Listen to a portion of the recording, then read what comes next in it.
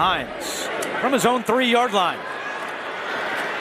Hines across the 20, has some room, and he's tackled by the Browns at the 35-yard